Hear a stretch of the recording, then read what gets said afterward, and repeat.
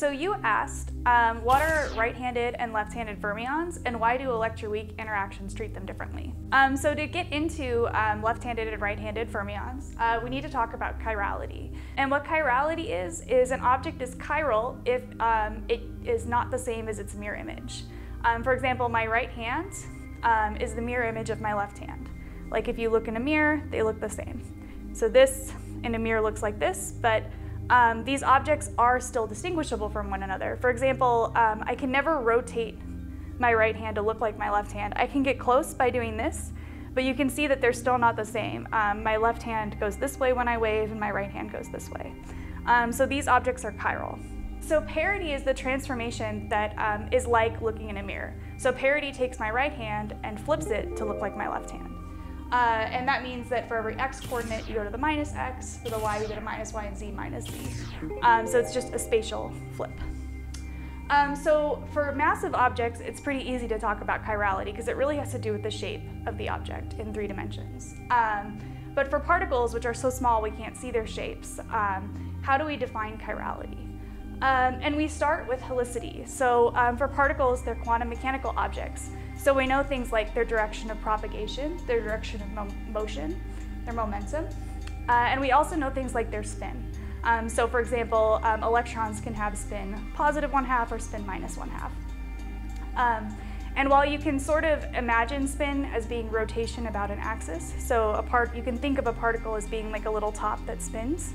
Um, and if it's spinning this way, it's spin up, and if it's spinning this way, it's spin down. Um, that's not precisely what's going on quantum mechanically, but it's a good way to think about the direction of spin.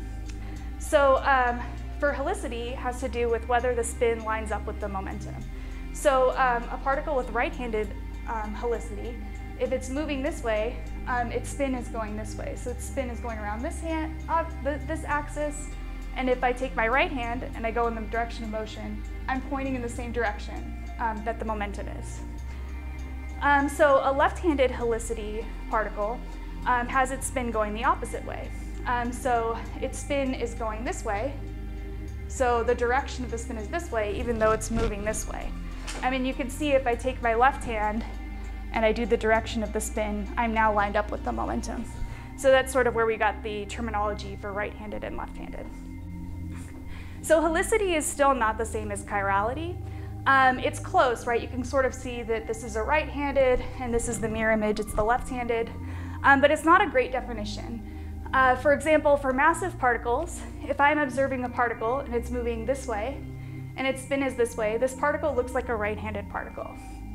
But if I get in a car and I go faster than the particle, so now I'm moving faster than the particle, from my point of view, um, the particle is now moving this way, but its spin is still the same. So now it looks like um, a left-handed particle. Um, so the observer can actually flip the direction of the momentum depending on motion, but the spin stays the same. So the helicity changed for a massive particle. So some particles, helicity is exactly equal to chirality, and those particles are massless. So massless particles like photons always move the same speed no matter what speed the observer is going. So for photons, helicity just is chirality. No matter how fast you're going, the helicity is always the same. For massive particles like quarks and leptons, um, helicity is not the same as chirality. Chirality is a more abstract idea, um, so I can't get into the precise definition. Um, but the idea is that chirality is a property of the particle that's always the same no matter how fast the observer is going. If a left-handed particle um, is observed in one frame, it's still left-handed in this frame. But it's still true that if you take a left-handed particle and you do a parity transformation, it becomes a right-handed particle.